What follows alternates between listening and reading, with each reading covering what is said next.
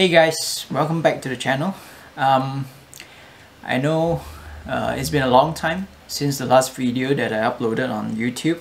So in case you're wondering what I have been up to for the last 9 months or so, I've been taking the time to learn a new CAD software, uh, Fusion 360. I designed a um, CNC machine um, fully out of Fusion 360 and I'm building my second CNC machine right now. So just to give you guys a quick update on what I've been doing for the past nine months I'll take a I'll show you a tour around my place and show you what I've done so far. Okay. Hey guys. So this is the first CNC machine that I built last year. It's a relatively small CNC machine um, built out of uh, mostly 3D printed parts NEMA 17 motors and uh, it has a 500 watt uh, brushless DC spindle right now okay as you can see this aluminum plate um, was used to cut one of the parts for my next CNC machine the design of this CNC machine was originally by a gentleman, a young gentleman from uh, Poland. His name was Nikodem Bartnik. So I just took his design uh, from the internet, um, bought all the parts according to his BOM list, and built according to his instructions on his YouTube channel. Um, it's a great um, first CNC machine for anyone who wants to dive into the world of CNC machining and um, basically I use this machine to machine all the aluminum parts for the next CNC machine that I'm building so in a while I'll show you um, the 3D CAD model just to give you guys uh, an idea of the CNC machine that I'm building.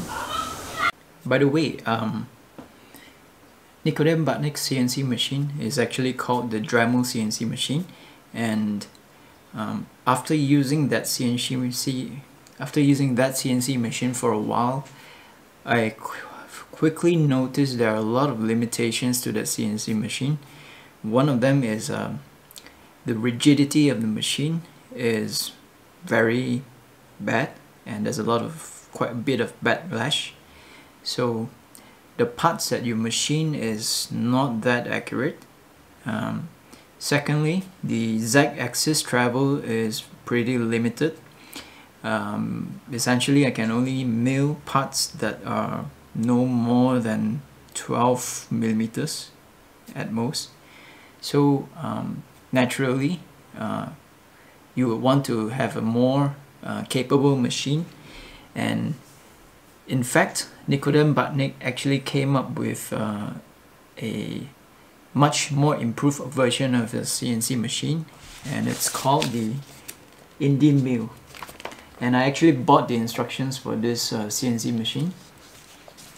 So after going through the, the manuals and the design of the IndyMill I also realized there are a lot of room for improvement. So um, I decided to take it as a challenge to design my own CNC machine um, using Fusion 360 uh, because at the time I was also picking up the new software, new CAD software Fusion 360 and so let me show you in the CAD model what are some of the improvements and also um, changes that I did over the IndyMill. So here's the DIY CNC um, that is based off of Nikodem Bartnik's IndyMill. So let's take a look at the CAD model, shall we? Alright, so in my version of the CNC machine, um, I wanted to change a few things. Okay, the first one, if you notice, is of course um, I use C-beams. 40 by 80 millimeter C-beams. Basically the intention is to protect the ball screws and the nut from chips and dust. Much better. Alright and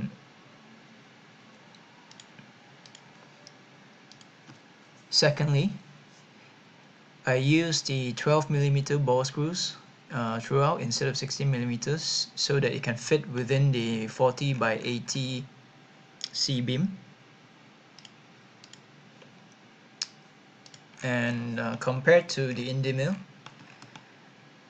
this one has a complete aluminum T-bit for easy mounting of uh, the workpiece and also it's designed to fit in a machine vise I've also increased the the Z travel the Z travel uh, mainly because I want to fit the machine vise into the machine as well.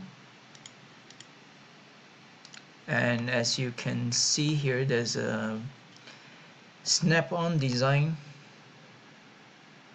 dust shoe which is designed to be easily snap on and off using magnets. So you just have to press the lever here and you can remove it easily.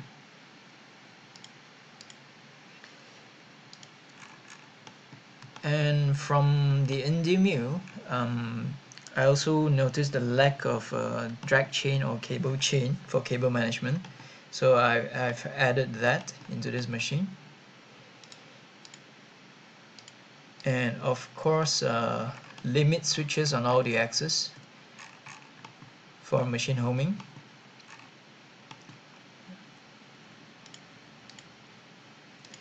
And this machine is also designed to mount a 1.5 kilowatt air cooled spindle right from the beginning. So there is no need for adapter plates or anything like that there will also be a mist coolant system with an adjustable nozzle mainly for chip clearing uh, while machining metal like uh, aluminum brass and etc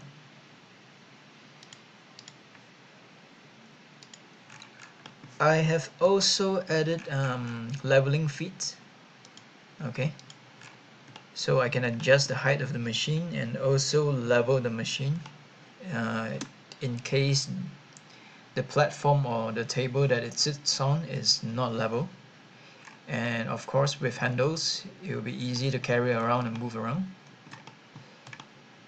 And another important thing that I need from this machine is of course it has to be housed inside a full enclosure um, to prevent the chips from flying all over the place and also to reduce the noise level of the machine while it's operating. Since I'll be putting this machine in the front yard of our house. So basically these are all the changes and the improvements that I made compared to the Indy for now the design of the enclosure is not final yet because I still need to see um, how the actual machine uh, turns out uh, by the time it's fully assembled before I work on the enclosure. So I'll leave the enclosure at a later stage to finalize the design. But um, let's zoom back into the CAD model. If you notice you'll see a lot of blue parts here. Okay there are basically three types of uh, parts to this machine. There are parts that I can just buy off the shelf for example like the aluminum profiles um, ball screws um, linear guide rails stepper motors spindle.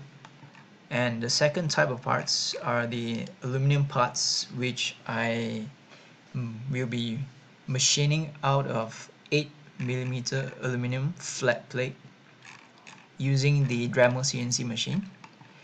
And the third kind of uh, part is actually the 3D printed parts in blue color so these are the parts that I am actually printing out of uh, blue PETG okay.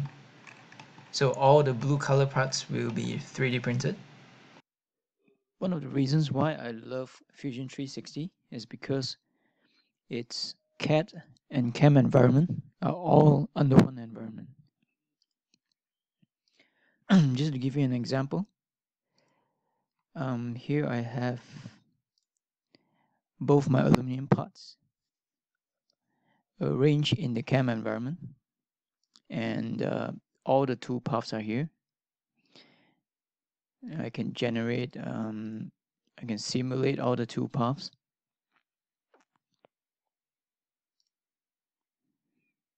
So everything is very seamless in Fusion 360.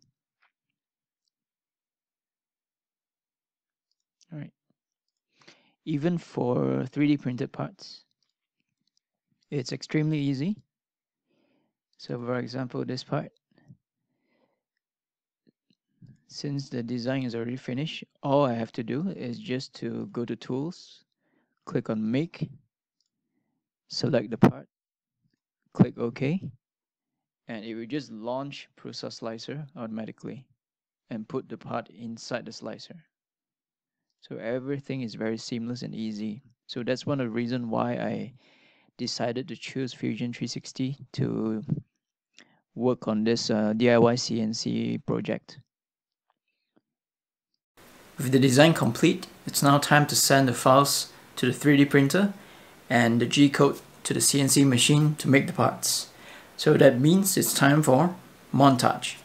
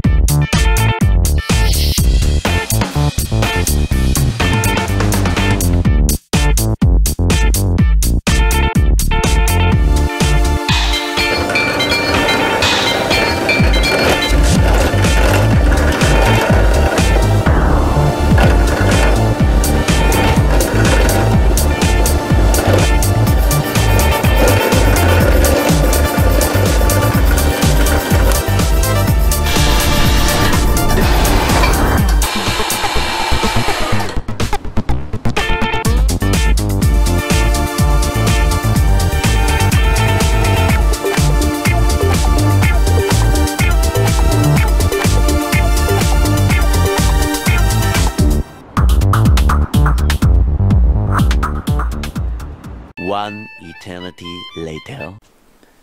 So after many many days of 3D printing and many weekends of machining, so this is what we have right now.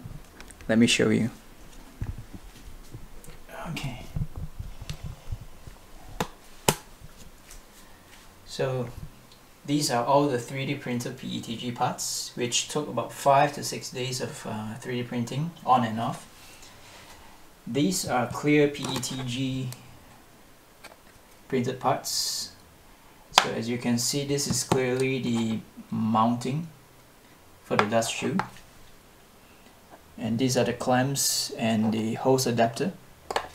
And over here these are all the aluminum parts that is machined out of the Dremel CNC machine. So after almost um, uh, two months, three months of machining, two months was lost due to the fact that uh, I actually burned my spindle while machining the, the parts. And uh, I had to wait for the replacement for two months to arrive. So so but finally we have all the parts we need right now. And I actually broke two end mills in the process so yep. That's part of uh, machining. So now that we have all the mechanical parts ready so in the next video um, I'll be showing you guys the, the assembly process of the entire machine. Um, so stay tuned for the next video. I hope you guys enjoy this video. And if you like the video um, just click like and subscribe. I'll see you in the next video 아, 그래, 이거 똥 나. 오케이.